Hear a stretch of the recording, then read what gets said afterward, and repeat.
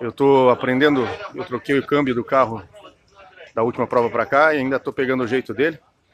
Mas foi muito boa a subida. Vamos torcer agora que não chova, porque lá em cima já estava nublado, baixou a serração. É, isso vai dificultar para todos nós aí. A, a esperança é que não chova, aí fica muito liso e é, dificulta a prova para nós. Ok? A ideia é terminar a prova inteira.